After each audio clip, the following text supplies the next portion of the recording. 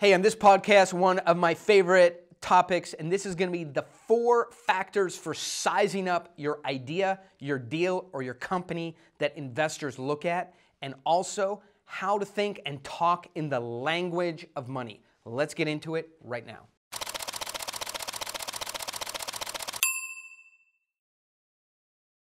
Hey guys, welcome back. Oren Klaff here. Of course, who else would you have on the Oren Klaff project? So today, just back from Mexico, took a long vacation there, which was amazing at a resort called Vidanta. Check it out online, Vidanta Grand Luxxe. Very cool. But I'm just wondering something like why, so flying to Mexico, you know, it's funny, I pay for my seats because they call on Friday and they go, can you be in Mexico, uh, you know, in a resort on Monday? So I got to buy seats. I got to buy a seat for myself uh, in business class because I don't like to get there tired. That, uh, and so I got to buy a seat for my little boy. He's five. I don't think he's ever sat in coach because I just like him to sit next to me. I don't mind him sitting in coach. And then I got to buy a ticket for my wife so we can all sit together. So that's, you know, six, seven thousand dollars of tickets. Uh, and one thing I noticed is like a lot of the people sitting up there in business class, they obviously didn't buy their ticket. And I don't know how it works. I don't know how to use points. I never use points. But I'm pretty sure the guy with like uh, two-year-old Adidas sneakers using an iPhone 5 and wearing a uh, you know Super Bowl five-year-old five-year back Super Bowl T-shirt didn't pay for his seat. Someone gave it to him or he upgraded. So I don't know how it works, but it doesn't seem fair.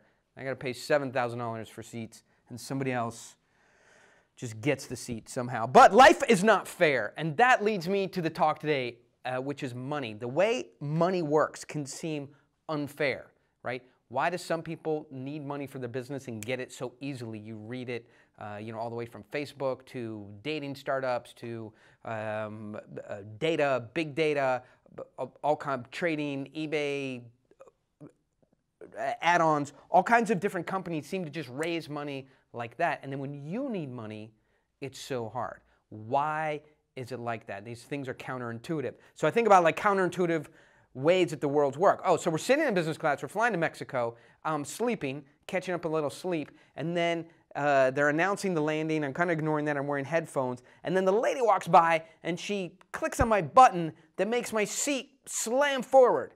And that wakes me up. Boom, pop, seat moves forward, right? Why does my seat have to be put in the upright position? It's one and a half inches.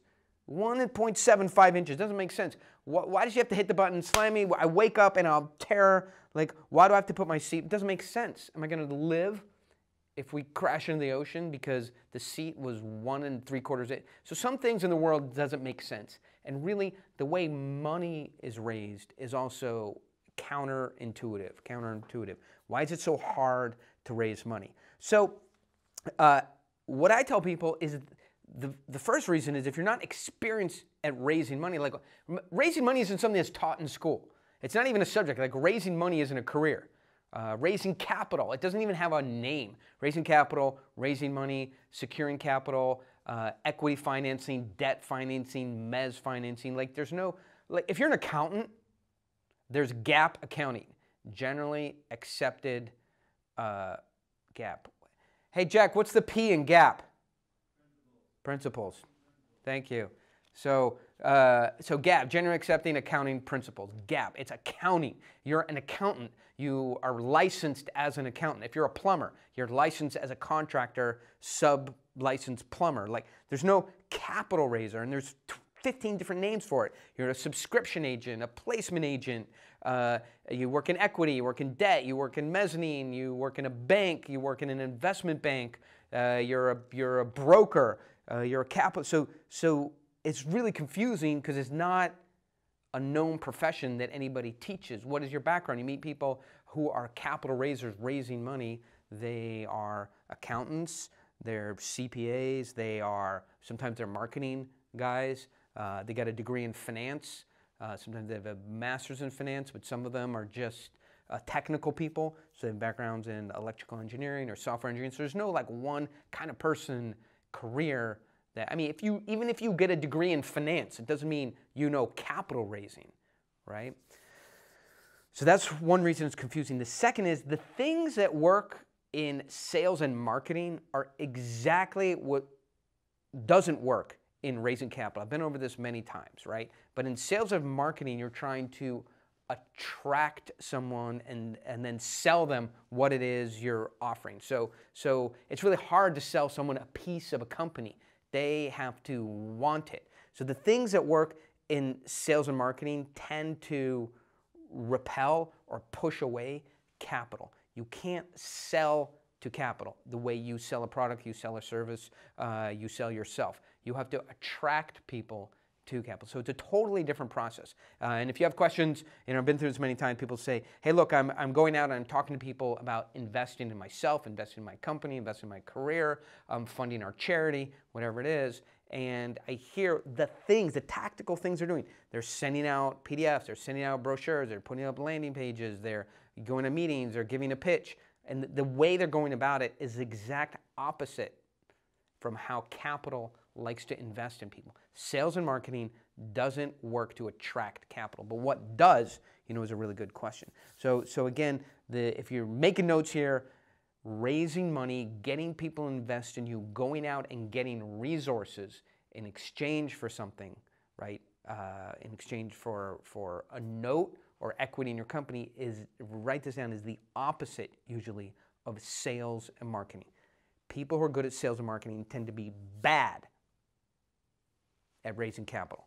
So it's very interesting. That's why, you know, if you're reading Pitch Anything, by the way, if you want to know this stuff and get specific instructions, you order and read Pitch Anything. And of course, the new book, Flip the Script. So Pitch Anything and Flip the Script will lay out the systems and processes for raising capital and sales and marketing and how they're different and how they're the same. And they're much more different than they are the same.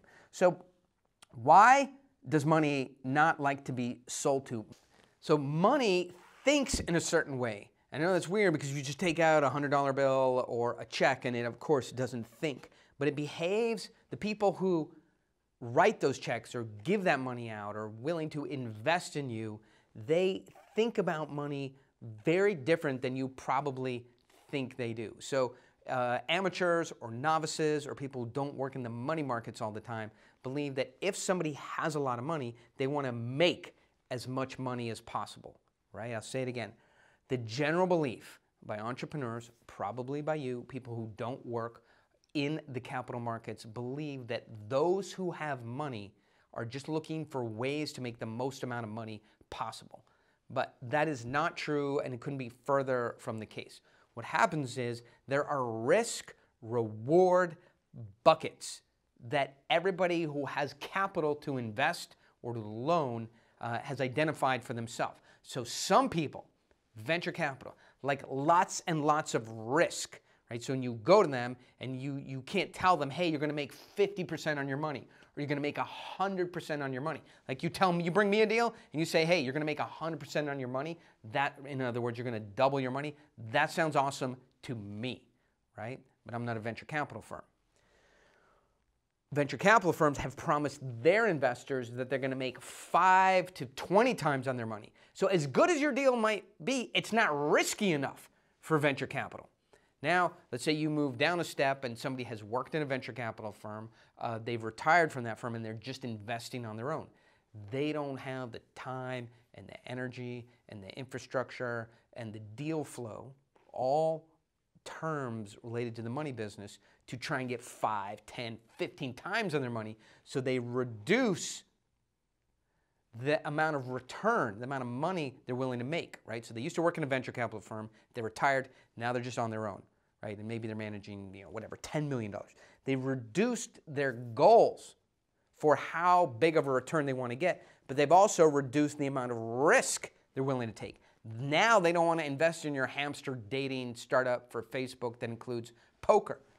Too much risk, too low of a likely. Yes, of course, you know, if you succeed, you're going to go billion, go public for a couple billion dollars and you're going to become a billionaire. But the chances of your hamster poker dating app, whatever it is, of actually getting all the way to going public are so low, they can't absorb they can't absorb that risk. They can't do enough deals to make that risk, uh, to absorb that risk. So now they're not trying to make five times on their money, they're maybe trying to make 25% on their money, and now they don't want a raw startup idea about um, how to fix climate change, how to get to the planet Mars, how to get spaceship into the sky more efficiently, how to make a, uh, an electric airplane, how to create cold fusion. Way too risky, needs too much money. They're not looking for that deal. They're looking for a safer deal, right?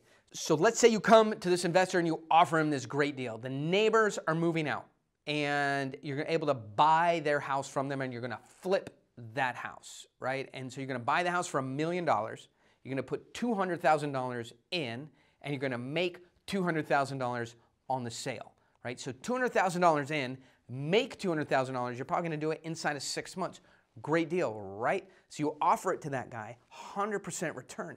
Yes, that meets the kind of a risk profile uh, that he's willing to take. It's a good reward. The problem is the size of the deal is too small. So to take somebody who's been doing uh, big deals for their career, putting in 10, 15 million dollars, um, who uh, now you're offering them a deal that is the right risk and reward, but it's too small. So there's lots of factors that affect why somebody would come into a deal. So just offering them a random, uh, you know, great return on their investment. So you have to understand who is investing the money, what their desire to make a return is, how much return they're looking for, right? What, uh, so what, how much reward they want, what amount of risk they're willing to take, how risky do they want. So it's all risk reward. Until you understand the language of risk and reward, you cannot offer somebody a deal because you don't know what they're looking for, how much risk they want, and also you have to understand scale, right? You can hit risk reward perfectly, offer them the correct amount of risk. We're doing a, a dating app for grandmas. Uh, great. Um, you know, we've, we've coded, we put in $100,000 of our own money. We've coded, we got 500,000 grandmas on the site. Um, we are, it's a freemium, and we're making a little bit of money. Okay, so a lot of venture capitalists or investors would like that level of risk, right? Uh, and you hit the reward perfectly, which says, hey, we uh, want to grow this company to 20 million, and then we want to sell it within three years and make three to five times on the original investment. Great. The reward is there. The risk is in the venture capitalist profile. However, there's some other issues, right? Is it a big enough deal to care about. And the space of like, would these guys get laughed at in their community if they invest in your dating site for hamsters? Some wouldn't care, but some people do care. Better example is there's lots of deals in uh, in issuing credit to low income uh, to low income families. For some funds, say the Harvard Endowment, the Yale Endowment, the Stanford Endowment, uh, you know, the University of Pennsylvania Endowment, the Carnegie Mellon Endowment, they don't want to issue high risk credit to low income families. They just don't like that on their watch. They don't believe in that business, right? They don't want those companies to get strung those those families to get strung out on credit. So you might hit the risk right, you might hit the reward right, you might hit the size of the deal correct, but it just might not be the taste and comfort level for that investor. So these are the things you have to understand about risk, reward, scale, and comfort level. Get those things right, and you're well on your way to being able to ask for money. Now, within that, there are, are, are sort of buckets. If you think about uh, just maybe a young soccer player or football player, right? There's peewee, then there's, I believe there's mites, right? And then there's grade school, and then there's junior high, and then there's high school, then there's high school, and then there's junior college, college, and then the pros. And in the pros, there are there's the European leagues, there's the Canadian leagues, and then there's the U.S. leagues, right? And then there's Africa and that kind of thing.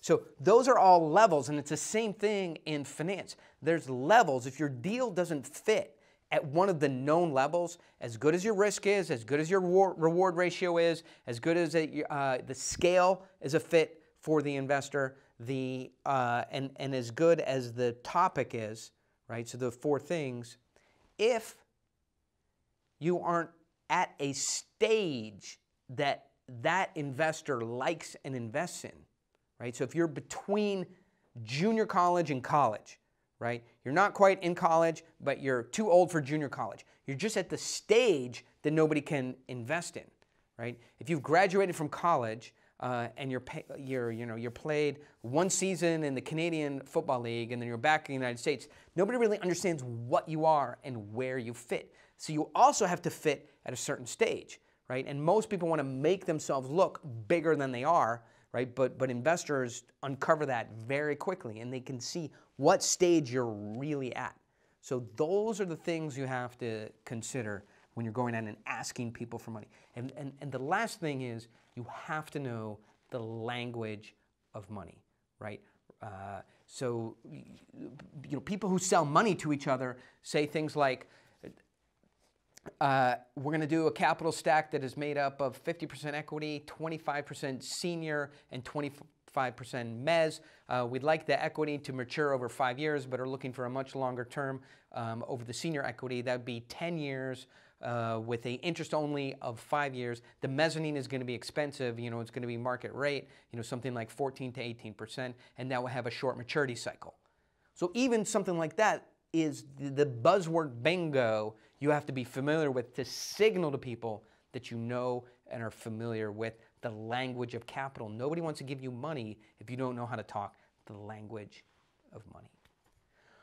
Okay, lots more to discuss on this subject, but you have to do some things. If you're still here and you're interested in this, then you got to jump over and join uh, the Instagram, Oren Klaff Instagram. So that's at Oren Klaff.